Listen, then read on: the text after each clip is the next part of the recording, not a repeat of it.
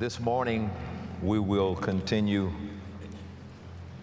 in the subject of maturity through pressure.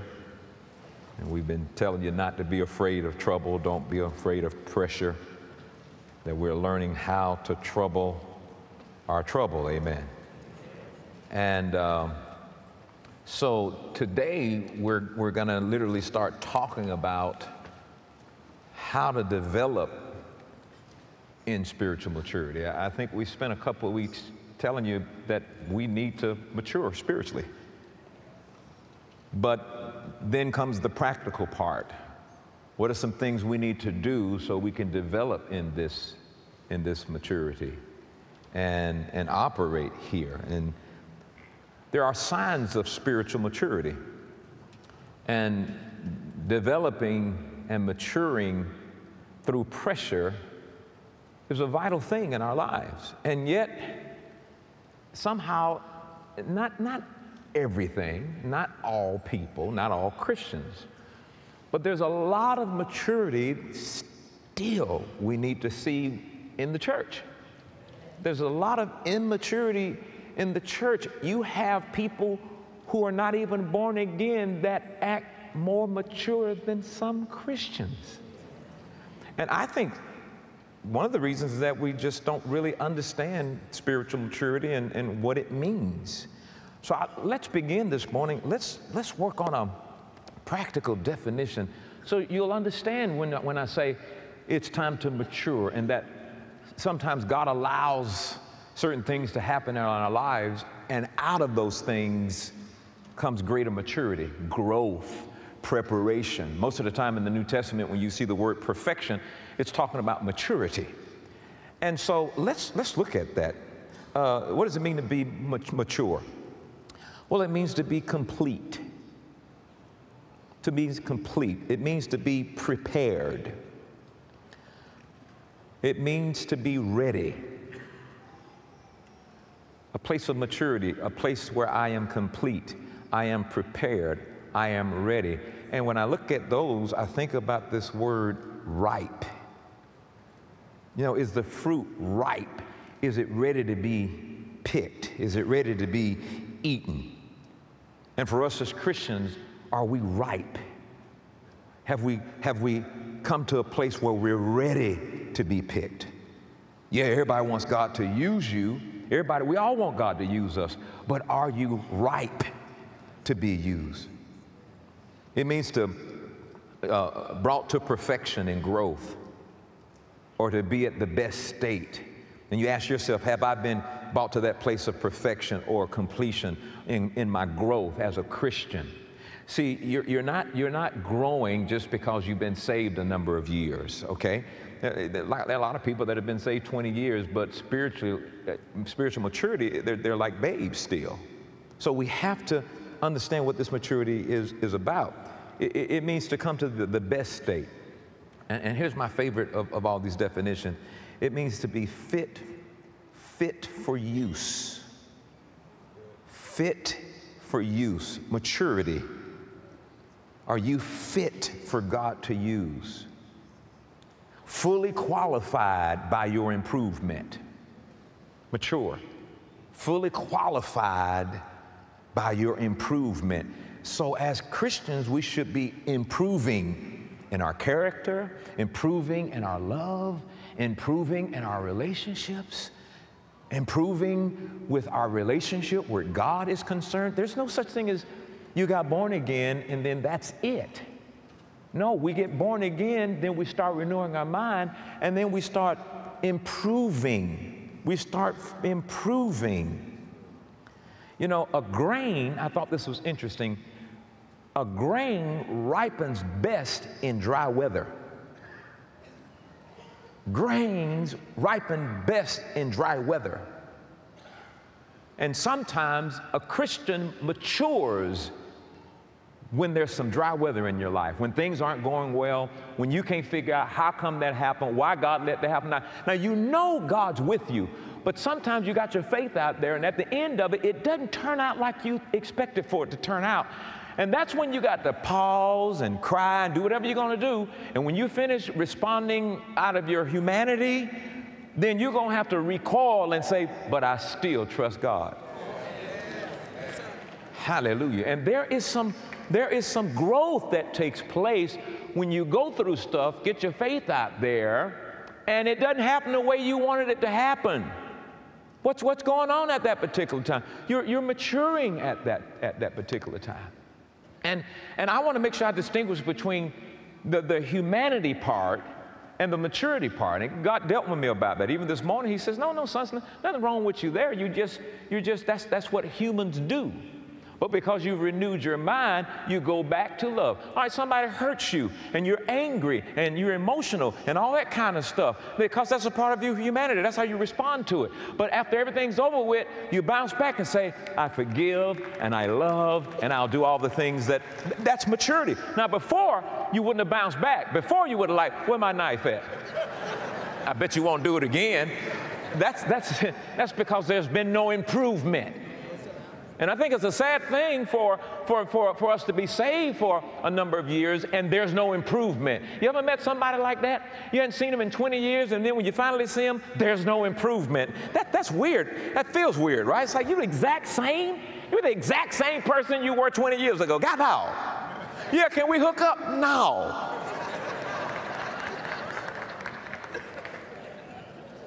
Are, you following what I'm saying? And so, you know, as grain improves during dry weather, I believe we should improve in, in the middle of all those things not working like we thought them to work out. Yeah, you're disappointed. And if the truth be told, sometimes you're very disappointed in God. You know, God, why didn't you do that? Why didn't you do that? And, and, and it becomes more disappointing when you think you're doing everything you should have did, watch this, to make God do it. And see, that's, that's what I'm saying. We keep going back and forth from, from understanding the grace to going back to self reliance. You know, I did this, I said this. Every morning I got up and I prayed an hour in tongues. I said I was healed five times a day. I read all my confessions, I did that, and I still didn't get what I expected. God, I'm upset. I ain't gonna have nothing to do with you. But remember, trials, uh, the, the purpose of a trial is to, is to authenticate your faith. The purpose of a trial is to, to, to, to check out the genuineness of your faith. Because after you do all of the stuff you say you do, and then you're disappointed with an unexpected outcome, will you still depend on God? Because stuff happens when people come out of a hard time and it didn't work out the way they thought it worked, and they still believe in God. Keep your eye on them because God getting ready to do something fantastic in their life. I mean, I'm thinking about Joseph, who was, uh, uh, you know, he, he, he, uh, he, he absolutely just, he did what he had to do wherever he was. He made improvement wherever he was. He was the best at, you know, he, he was right he allowed every situation. I mean, you would think the brothers, the way they did him, and he's in a pit, and then he's a slave in Potiphar's house, then he's in prison. Now, in prison, he interprets this guy's dream, and he tells the guy, Don't forget about me. Don't forget about me, dude, all right? Tell him about me. And he forgot about him. Two years, two more years. Two more years. And then Pharaoh has a dream and he tells him about him and he comes out. So I'm, I'm, I'm sure he thought the guy was going to come back in a couple of days. It was this test to see the genuineness of his faith. You don't see Joseph going around, I ain't gonna have nothing to do with God no more. I ain't praying no more. I ain't, I ain't fasting no more. I ain't got nothing to do with God because he didn't give me what I wanted like I wanted. You can't pray the will of God and then get upset because it didn't come like you wanted and when you wanted.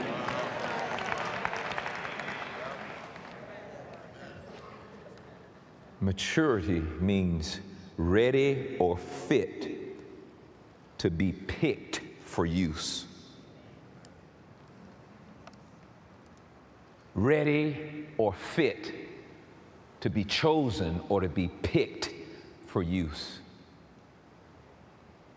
And that's why you should not be taking the same test over and over again. It's time to pass it.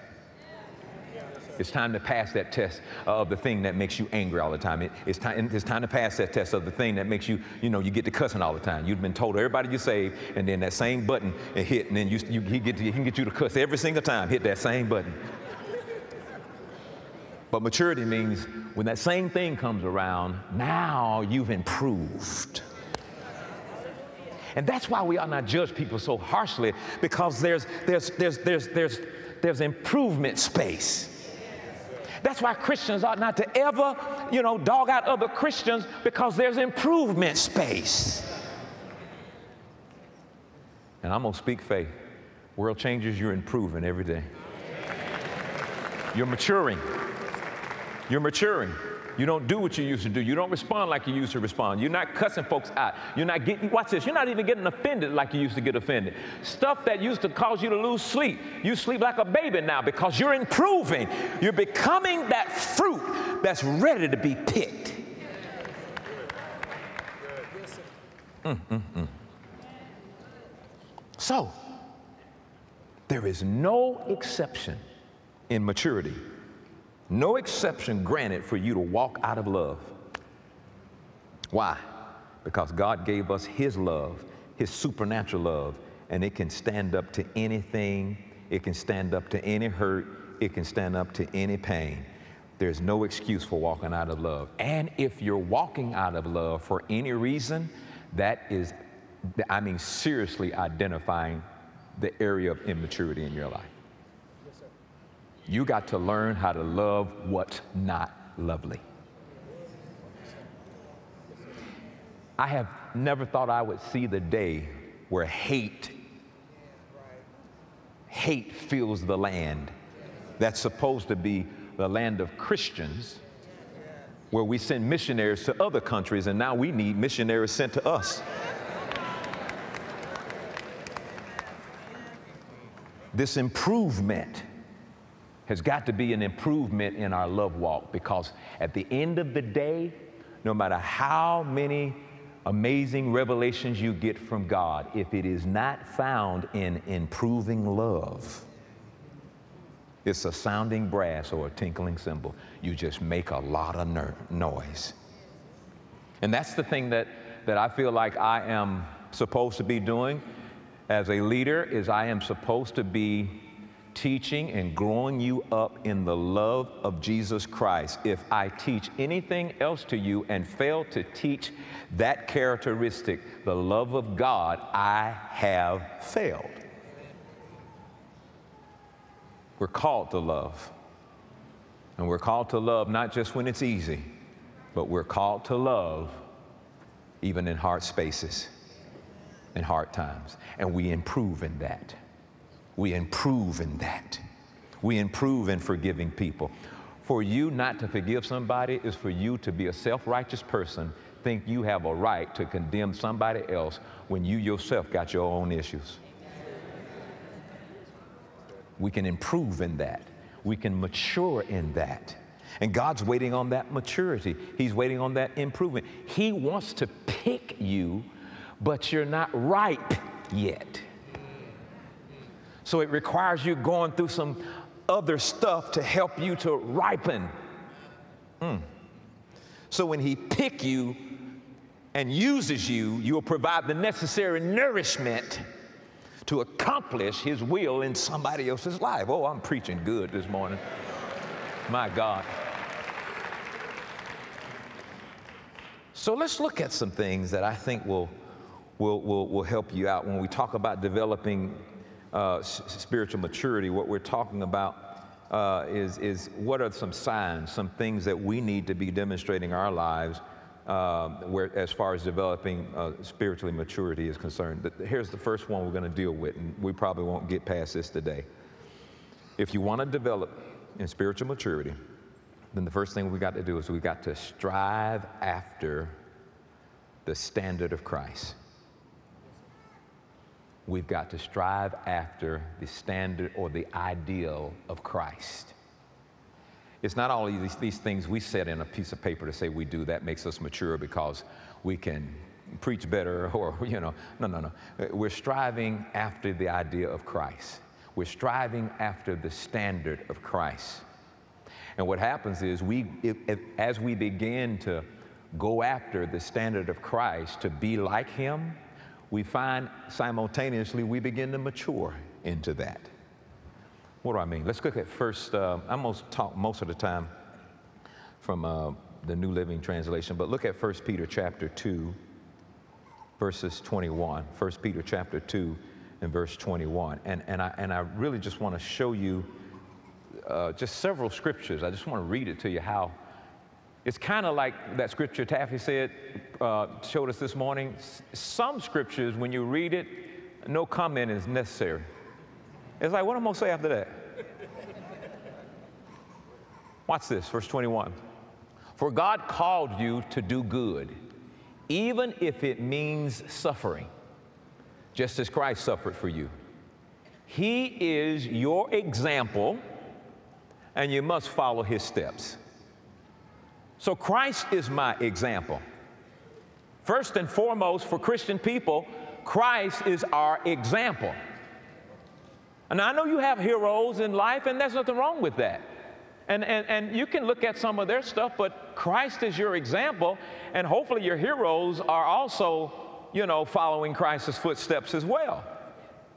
I'm not talking about just humanity. I'm talking about humans who have decided that I'm a Christian and I'm a follower of Christ. Christ is your example.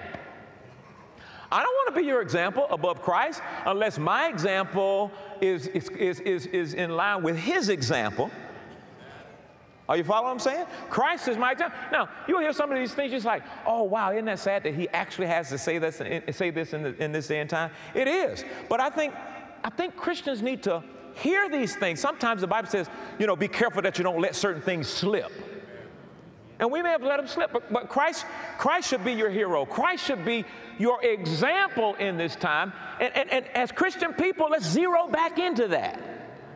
Christ is my example. Say that out loud. Christ is my example. This is one of those scriptures you read it, you're like, how am I going to comment on this? Philippians chapter 2, verse 3 through 8. Now, listen to this. So here, here's an example. Here's what Christ is telling us to do. This is, this, is, this, is, this is what it means to be ripe. This is when you're ripe and ready to be picked. He says, Don't be selfish. What else is he saying? Selfish people aren't ripe to be picked. You, have heard the scripture meat for the master's use, fit to be picked and used. Don't be selfish. So I'm reading this as a Christian. I'm, don't be selfish. I want to look at my life and ask myself often, am I being selfish here? Often I've asked myself, am I being selfish here? And I'm glad I asked myself because the Holy Spirit is not going to lie to you. Yes, you are, Creflo. He says, don't be selfish. And then watch this now. He says, don't try to impress others. And then you as a Christian looking at that and say, am I, am I, am I trying to impress others? I can't even get out the house on time because I'm concerned about am I dressed uh, uh, uh, well enough? Am I, am I this and that, that, that? Am I trying to impress others? Don't, don't do that because if you do that, you're just setting yourself up for hurt. Am I trying to impress others? You need to impress God first. Then he said, Be humble. Somebody said, how, What does he mean by being humble here? Thinking of others as better than yourself. When's the last time? Can you recall a time in your life where you are, have been thinking of others better than yourselves? These are the things we need to hear in church. We're so, we're so busy trying to be poetic and, and getting a 10 rating for our sermon.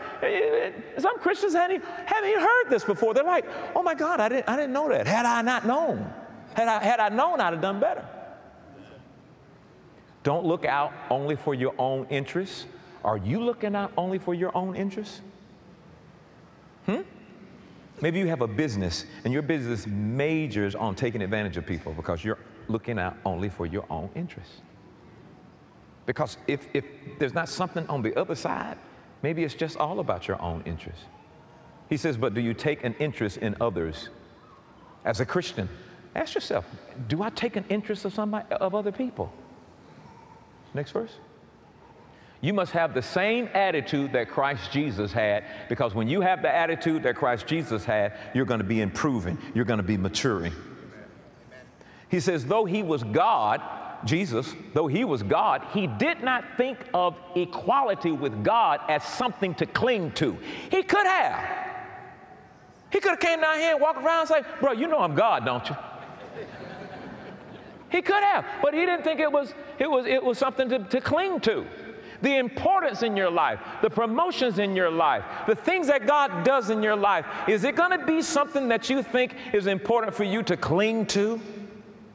Or will you keep yourself open to share the interests of somebody else? He said, instead, he gave his divine privileges. He gave up his divine privileges, excuse me, he took the humble position of a slave and was born as a human being, even though he was who he was. When he appeared in human form, he did all of that. A lot of people don't even understand what did he have to give up to get down here in the form of a man to be an example? Man needed to see an example on a human level. And Jesus showed up as an example on a human level. You can't ignore Jesus and then talk about, I've matured. I don't think you're ever to walk in the type of maturity the Bible is talking about, ignoring Jesus, because he is the pattern and the standard and the example of spiritual maturity. Makes sense? And verse 8 he humbled himself in obedience to God and died a criminal's death on a cross. Being God, died a criminal's death on a cross. Ain't nothing I can say about that. Look at 2 Corinthians 3.18. 2 Corinthians 3.18. I, you know, I, I am so okay with getting up and sharing scripture after scripture after scripture and I am fine preaching to a church who wants to listen and learn. And I am so delivered from doing a cartwheel to see if I can get you to jump up and scream and say, Preach, Pastor. I want to make sure you're learning something and improving, and I want to make sure that I can have an opportunity to see you get picked off the tree and be used.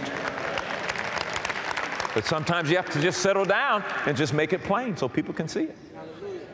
2 Corinthians chapter 3 verse 18. So all of us who have had that veil removed can see and reflect the glory of the Lord. And the Lord, who is the Spirit, makes us more and more like Him. Now stop right there. So, you know, when I started looking at this, I'm thinking, man, this is really going to be hard. I mean, me maturing is going to be hard. And so that's my first mistake. He's not asking me to do the work of maturing myself. He's asking me to depend on Him to do the work of maturing me. I have a beautiful announcement to make that God has accepted the responsibility to live in you, walk in you, and work in you. It is not God who's walking on your side and He's not walking in your back. He's walking in you, praise God. And, and, and I want you to do this for a homework assignment. I want you to go and look up all the scriptures where you see God saying, I'll do the work. Jesus died to save the entire world. Today, He's training us in grace so that we can go out and influence someone else's life. That's why I'm so grateful for the friends and partners of this ministry who freely and cheerfully give financial offerings to support us. You understand our vision and you help us in so many ways to reach those who are searching for hope in the midst of darkness. Thank you for empowering us to expand God's kingdom worldwide. Your financial donations into this ministry work all over the world to change countless lives. If you'd like to support our efforts to save the lost, you may call in or visit CrefloDollarMinistries.org today. God bless you.